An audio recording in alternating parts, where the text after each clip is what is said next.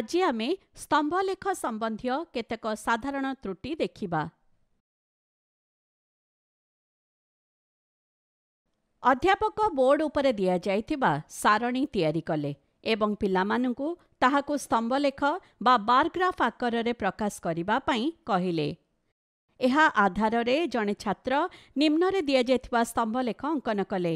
ଆସନ୍ତୁ ଜାଣିବା ଯେ ଏଥିରେ ଛାତ୍ର କି କି ଭୁଲ କରିଛନ୍ତି। ଭୁଲ ଏକ ଏହି ସ୍ତମ୍ଭଲେଖରେ ସ୍ତମ୍ଭଗୁଡ଼ିକର ପ୍ରସ୍ତ ସମାନ ନାହିଁ। ଭୁଲ ଦୁଇ ଏହି ସ୍ତମ୍ଭଲେଖରେ ସ୍ତମ୍ଭଗୁଡ଼ିକ ମଧ୍ୟରେ ଦୂରତା ସମାନ ନାହିଁ। ସ୍ତମ୍ଭଲେଖରେ ସ୍ତମ୍ଭଗୁଡ଼ିକ ମଧ୍ୟରେ ବ୍ୟବଧାନ ସବୁବେଳେ ସମାନ ରହିଥାଏ। ଭୁଲ ତିନି ଏହି ସ୍ତମ୍ଭଲେଖରେ ଏକ୍ସ ଅକ୍ଷ ଏବଂ ୱାଇ ଅକ୍ଷକୁ ନାମ ଦିଆଯାଇ ନାହିଁ। ଏହି କାରଣରୁ ଦର୍ଶାଯାଇଥିବା ସ୍ତମ୍ଭଲେଖ କେଉଁ ସୂଚନା ପ୍ରଦାନ କରୁଛି ବୁଝିବା କଠିନ ହୋଇଥାଏ। ଏଠାରେ ଏକ୍ସ ଅକ୍ଷ ଉପରେ ରୋଲ ନମ୍ବର ଏବଂ ୱାଇ ଅକ୍ଷ ଉପରେ ଦଶରୁ ମିଳିଥିବା ନମ୍ବର ଲେଖିବା ଆବଶ୍ୟକ ଯାହା ସାହାଯ୍ୟରେ ଆମେ ଦର୍ଶାଯାଇଥିବା ସ୍ତମ୍ଭଲେଖ ଆମେ ଠିକ୍ ଭାବରେ ପଢ଼ିପାରିବା।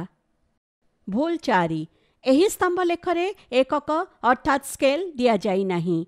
ଏଠାରେ ଆମେ ଏକ ସୁବିଧାଜନକ ଏକକ ବା ମାପଦଣ୍ଡ ନେବା ଆବଶ୍ୟକ ଯେପରିକି ଏଠାରେ ଆମେ ଏକ ଏକକ ସମାନ ଦୁଇ ନମ୍ବର ଭାବେ ନେଇପାରିବା। ଏହା ସାହାଯ୍ୟରେ ଆମେ ଏହିପରି ଭାବରେ ୱାଇ ଅକ୍ଷ ଉପରେ ପ୍ରାପ୍ତ ଅଙ୍କ ଦର୍ଶାଇ ପାରିବା। ଏହା ଆମକୁ ସ୍ତମ୍ଭଲେଖ ଠିକ୍ ଭାବରେ ପଢ଼ିବାରେ ସାହାଯ୍ୟ କରିବ। ଏହିପରି ଭାବରେ ଏହି ସ୍ତମ୍ଭଲେଖରେ ଆମେ ଭୁଲଗୁଡ଼ିକ ଖୋଜି ବାହାର କରିବା।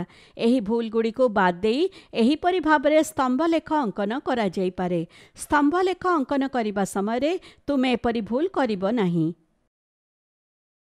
ଆଜି ଆମେ ସ୍ତମ୍ଭଲେଖ ସମ୍ବନ୍ଧୀୟ କେତେକ ସାଧାରଣ ତ୍ରୁଟି ଦେଖିଲେ।